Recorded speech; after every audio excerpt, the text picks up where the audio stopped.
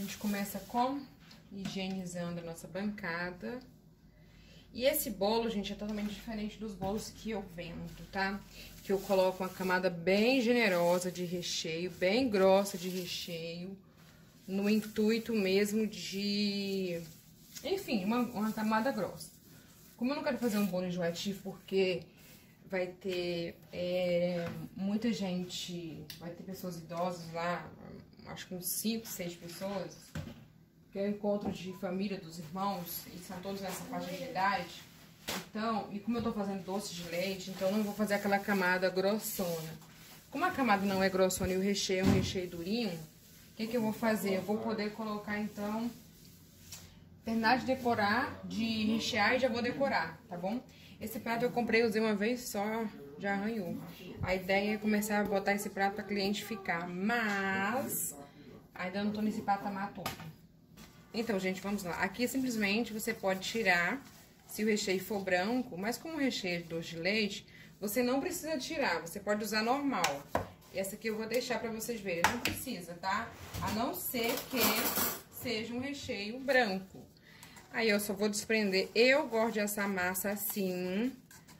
É, pode ser que algum dia eu venha ter problema se eu pegar um monte de comida no mesmo dia. Mas eu gosto de assar massa assim, onde eu já asso os discos separados, tá? Eu acho mais prático. Aqui não vai ter erro não, tá, gente? E eu tô fazendo isso aqui em cima da bancada só pra vocês conseguirem enxergar. Mas o legal é você fazer fora, tá? Eu vou tirar só o papel aqui, já na pia, pra não sujar muito a nossa mesa. E aí eu vou colocar, molhar.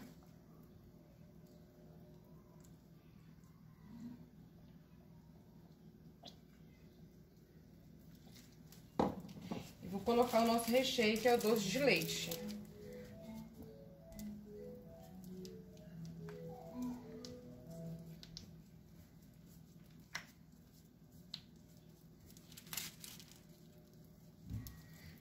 Pensando em colocar banana, mas não vou colocar, porque o último doce que levou pra lá era de banana.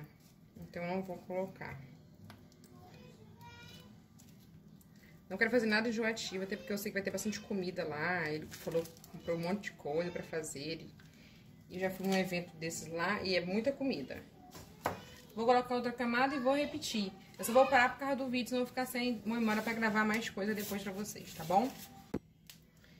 Então, gente, é muito comum meus bolos ficar aquela camada de recheio bem grossona aqui, mas nesse caso a gente não podia colocar muito recheio.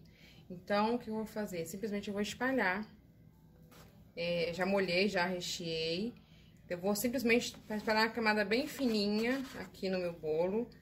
E aí eu já volto, eu vou te colocar o chantilly dele amarelo. E vou utilizar esse bico aqui, peraí. Perdi o bico, peraí que eu vou achar. Aqui esse bico aqui pra ir menos chantilly, tá vendo? Eu gosto de fazer com bico perlim, mas nesse caso eu vou utilizar esse pra gente colocar uma camada fina de chantilly, porque a gente sabe que pessoas mais de idade não gostam muito de quantidade de chantilly, tá bom? Essa camada aqui, gente, feita, ela é como se fosse um reboco. Ela que vai segurar tudo na hora que você for passar a argamassa e na hora que eu pintar fica bom. Então, agora eu vou colocar o meu chantilly, tá bom? Gente, agora que eu fui ver que eu coloquei o bico errado, oh, meu, eu coloquei bico pétala, não era bem esse bico, vou ter que trocar. ai, ai. Com o bico certo, vamos lá agora cobrir o bolo, né? Esse bico que eu tô usando aqui, ele é serra de um lado e liso de outro. Isso aqui, gente, é só porque eu não quero. Claro que um bico, um bolo com pouco, com pouca camada de chantilly, depois na hora de alisar fica mais difícil de algum erro, tá? Então, mas só no caso dele aqui, que eu não quero muito recheio porque eu sei que eles gostam de tirar, pessoas de idade não gostam muito, tá? Pelo menos aqui no condomínio que eu moro, quando é mais de idade, assim, elas pedem colocar o mínimo chantilly possível. Eu vou cobrir ele e já volto. Aqui no topo eu coloquei um pouquinho a mais, só pra gente deixar ele bem retinho. E aqui, gente, não tem muito segredo, tá? Para a espátula e gira. Aí ele, vai, ele mesmo vai pegando e colocando onde tem pouco, a própria espátula, ó, tá? Só girar a espátula. Minha bailarina tá coisando um pouquinho, eu tenho que parar pra colocar óleo nela. Aí aqui você vai ver que tá um pouco embaixo, você vai lá e coloca. Agora, eu vou alisar a lateral e pronto. A gente vai finalizar com umas, uns borradinhos de preto, de preto não, de vermelho. Já mostro vocês como vai ficar. Olha, fiz um pouquinho de chantilly bem vermelho. E aí eu vou colocar em alguns lugares aqui, ó. Tá?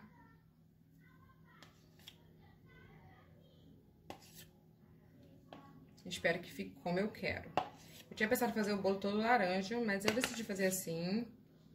O marido deu a ideia de fazer, porque a cor é essa, né? É vermelho com amarelo, vermelho com laranja, enfim. E agora a gente vai alisar. Tive que trocar de celular. Vamos pra esse aqui. A imagem desse não é tão boa, mas tudo bem. Aí eu fiz isso aqui. Aí agora eu vou dar um acabamento aqui, pra ficar bem bonitinho. Ó.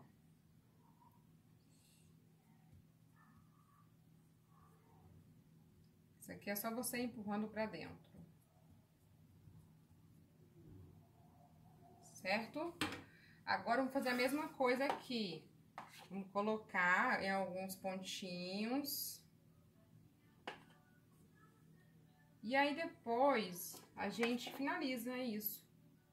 Eu só gosto de colocar mais pressão aqui. Talvez eu possa até fazer de novo, colocando mais pressão. Porque eu gosto que a ponta, quando eu enfiar aqui, a ponta suba. Mas tudo bem, vai ficar assim mesmo.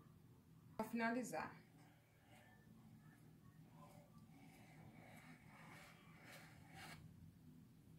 Ó, exatamente isso aqui que eu queria. Tá vendo? Exatamente isso aqui que eu queria.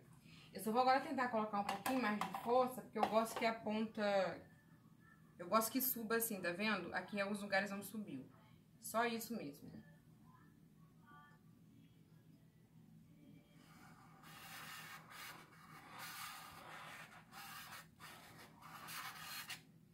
Pronto.